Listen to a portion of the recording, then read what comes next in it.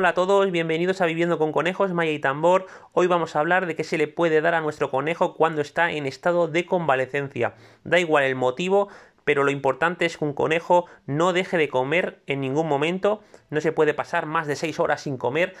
Así pues mostraremos qué se le puede ofrecer a nuestro conejo. Aquí vemos cómo vamos a transportarlos para ir al veterinario. Se ha puesto una capita de papel de sustrato abajo para que no resbalen. Hemos puesto también una capa de heno para que vayan comiendo y pienso para que eh, se metan dentro del transportín y sea mucho más fácil.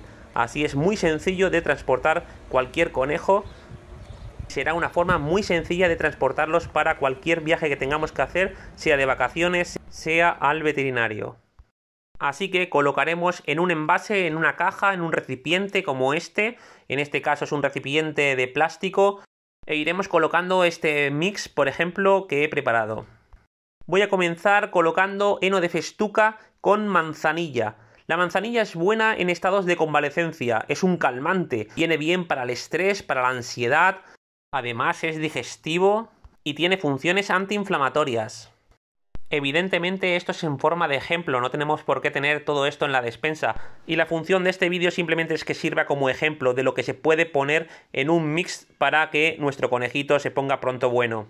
Ahora vamos a añadir un mix de flores que he preparado en otro recipiente.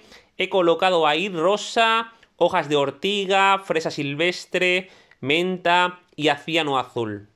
Hablaremos ahora sobre las propiedades de estas flores, pero pueden ver el vídeo completo de hierbas y plantas silvestres que tengo en el canal y que os dejo aquí arriba el enlace. Lo podéis ver cuando se acabe el vídeo perfectamente. Y aquí colocamos también heno con caléndula.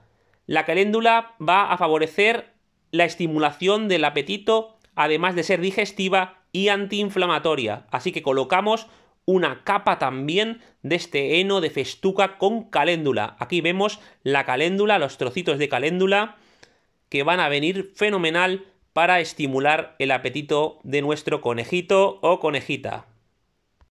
Y bien, vamos a hablar un poquito de la rosa que hemos metido. Es antiinflamatoria, depurativa y ayuda al tracto digestivo. En cuanto a las hojas de ortiga, calman dolores, mejoran el sistema inmune, tienen propiedades analgésicas, antiinflamatorias y depurativas. La fresa silvestre, pues va a ayudar como cicatrizante, importante por ejemplo en el tema de la castración. Va a ayudar a que cicatrice perfectamente las heridas. También son calmantes que van a ayudar a evitar el dolor en el conejo, antiinflamatorias y ayuda también a regular el intestino. Aquí colocamos de nuevo otra capa de este mix de flores que estamos ahora comentando también hemos metido entre ellas la menta, que es muy digestiva y también expectorante. Y por último, el acción azul, que también tiene función cicatrizante, además de estimular el apetito, ser antiinflamatorio, diurético y antiséptico, con lo cual va a favorecer también que la herida, que la cicatriz no se infecte. Como vemos, ahora metemos otra capa de heno de festuga con caléndula, más que nada para que todo quede bien mezcladito. Ahora metemos unas cuantas más hierbas de estas que he nombrado, rosa, hojas de ortiga, fresa silvestre, menta, aciano azul. Y lo vamos a remover todo para que a la hora de comer, a la hora de proporcionar a nuestro conejito este mix, pues esté todo bien integrado. Y este tipo de alimentación pues se puede utilizar en nuestros conejitos eh, perfectamente durante las primeras 48-72 horas para que nuestro conejo en estados convalecientes pues mejore más rápido. A Copito y a Pompón se la vamos a ofrecer después de la castración, pero también se puede utilizar, por ejemplo, después de las vacunas. Aquí también os muestro un reconstituyente perfecto para eh, momentos de estrés, momentos de ansiedad es como un granulado, como un pienso que se ofrece en una justa medida a nuestro conejo según el peso y es ideal también para este tipo de estados convalecientes. Como bien digo, sean vacunas, sean por ejemplo desparasitación, sea castración o simplemente que el conejito pues se encuentre un poco decaído. Y por último voy a introducir alfalfa porque es anticoagulante para el mejor desarrollo del sistema circulatorio. Le va a venir muy bien en este tipo de momentos a nuestro conejo. El heno de alfalfa, además de ser perfecto para la etapa de gazapos de 0 a 6 meses, también es ideal para madres gestantes, pero también para momentos de convalecencia es idóneo. Así que para mejorar el estado de nuestro conejito en momentos críticos, el heno de alfalfa es más que una opción, es una opción ideal. Por ejemplo, la beza también sería un producto ideal en estos momentos si es que no tenemos heno de alfalfa y así bien integrado, bien removido queda este mix ideal para estados de convalecencia. Y ahora nos vamos al veterinario. Hola a todos, buenos días. Nos vamos a la veterinaria que van a esterilizar a Copito y a Pompón, así que voy a ir rápido que mi hermana me estará esperando, que a las 11 les toca ya, así que vamos a ver y esperemos que todo salga bien y que pronto los pueda tener ya en casa de nuevo. Y vamos a ver, porque no deja de ser una operación. Y está claro que toda operación conlleva un riesgo. Eh, evidentemente es una operación de, menor riesgo, ¿no? Y sobre todo para conejos macho, para hembra un poco más complicada. Y aquí arriba os dejo el enlace sobre mi vídeo de todo sobre la esterilización y castración de conejos, que podéis observarlo. Y bueno, eh, Copito es fuerte. Copito yo sé que es bastante fuerte. Y Pompón sí que le sabe mal por Pompón, porque, bueno, ya sufrió como también sabéis eh, el parásito intestinal, el, parásito cuniculi, y bueno, eh, sufrió bastante. Estuvo bastante mal y, bueno, ahora esto pues me sale un poquito mal por él, pero, pero es necesario. O sea, es necesario porque, bueno, están perfectamente con mi hermana, ¿no? Pero eh, pues, pues lo típico, alguna monta entre ellos, vamos, yo creo que van a estar mejor después de esto, así que perfecto. También aquí, pues aquí arriba también os dejo el enlace para que veáis el vídeo sobre, sobre Pompón, para cuando le pasó todo esto que comento. Y, y vamos, eh, me voy a dar prisa que ya me está llevando mi hermana y debe estar ya allí en la veterinaria. De todas formas, ahora al final del vídeo pues os dejaré eh, los dos vídeos para que los podáis ver. Tanto el de la esterilización, castración, como el vídeo de pompón de parásitos intestinales. Y ya veo a mi hermana aquí. Vamos a ver a cómo Copito y el pompón, cómo están. A ver, aquí están.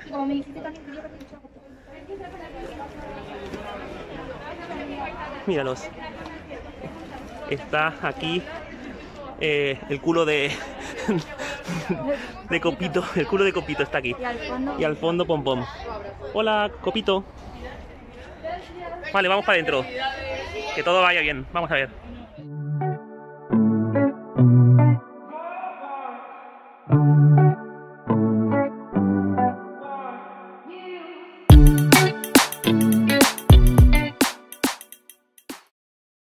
Ahora que ya están castrados Copito y Pompón, es hora de irse de nuevo a casa, así que los colocamos en el transportín y el mejor sitio para llevarlos en el coche es este, debajo del asiento, en el suelo donde colocamos los pies, ahí detrás del asiento del conductor o en el asiento de atrás del copiloto, es el mejor sitio porque van más seguros, el transportín queda más anclado y es casi imposible que eso se mueva. Y aquí tenemos ya a Copito y a Pompón en estado convaleciente, están tranquilos, están un poco apáticos, es normal después de una operación, así que vamos a incentivarles, vamos a colocar unas cuantas cucharadas, lo que marca el fabricante de este granulado, de este reconstituyente, que es ideal para estados de convalecencia, postoperatorios, momentos de estrés, ansiedad y mucho más que viene indicado en el prospecto. Colocamos diferentes cucharadas, 6 para cada uno, que es la dosis adecuada en estos momentos. Este es un producto que viene ideal tener en cualquier botiquín en casa para cualquier momento crítico. Os mostraré aquí arriba en un enlace en mi botiquín. Eh, vamos a hacer un vídeo explicando un poco qué es importante tener en casa siempre. Y ahora colocamos también un poquito de pienso adulto para mezclarlo, en este caso de Versel en Laga, Y ya abrimos el transportín para que se vayan animando a salir, eso sí, sin forzarlos. Cuando ellos quieran, pues ya irán saliendo, no hay que forzarlos, ellos están tranquilos, pero eh, están, pues eso, convalecientes. Es normal después de una operación, así que ellos marcarán el ritmo. Aquí vemos como lo primero es Copito el que quiere salir.